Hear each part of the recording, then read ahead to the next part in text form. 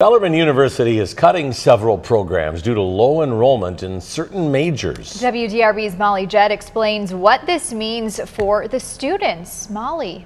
While no disciplines will be eliminated from the core curriculum, select majors will be phased out over the next few years, including undergraduate and graduate degrees.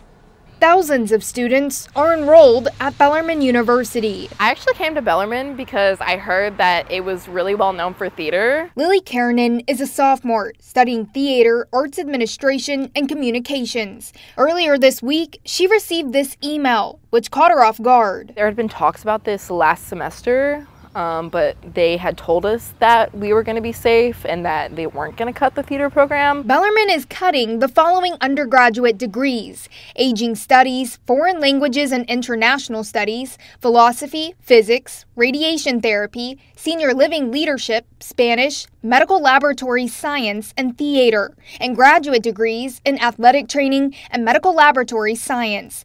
The university says these majors have produced few graduates in recent years. Cutting these departments is a mistake. Caitlin Carter is a freshman, double majoring in arts administration and theater. She says the Board of Trustees' decision has made her reconsider her higher education options. We are a bunch of small communities creating one big, large, happy family. And now, with the board's decision, it feels like we aren't. It feels like we have been betrayed, and it just hurts. WDRB was not able to talk with Bellarmine University President Dr. Susan Donovan, but she did provide a statement. I am confident, and our trustees are confident, that we have positioned Bellarmine University for a vibrant future. From them cutting Spanish, I mean, that's a language widely spoken around all of the country and just for them to cut that and cut them out is just it's really telling of who they are and what they care about. Nearly 3,000 students are enrolled at Bellarmine. 75 returning students are in the affected majors.